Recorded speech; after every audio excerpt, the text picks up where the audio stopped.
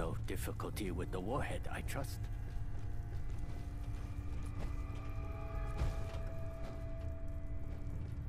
Nah, no sweat. The radiation did give me superpowers, though. X-ray vision.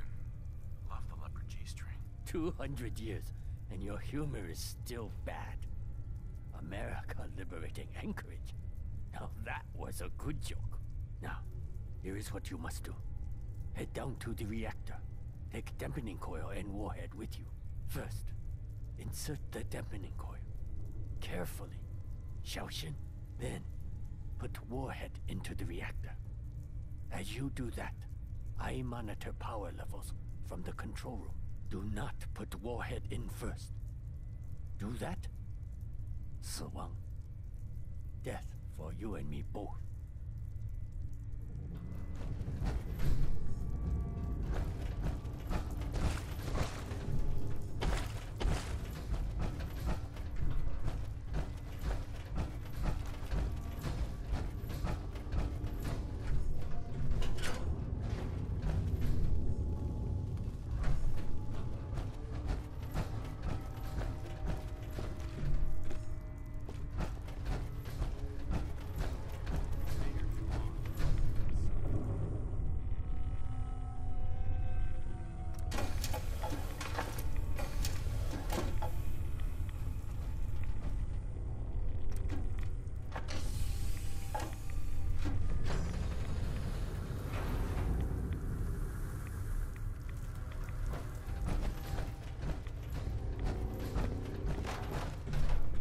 Captain Zhao.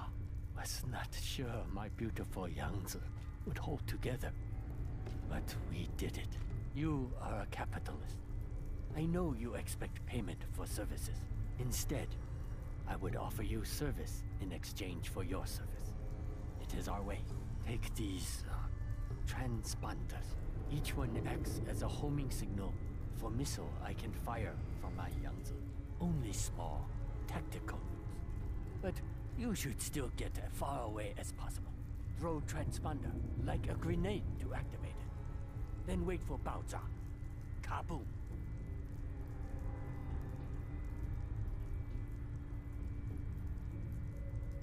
Why would you let me use up your missiles? I have no wish to bring weapons back home.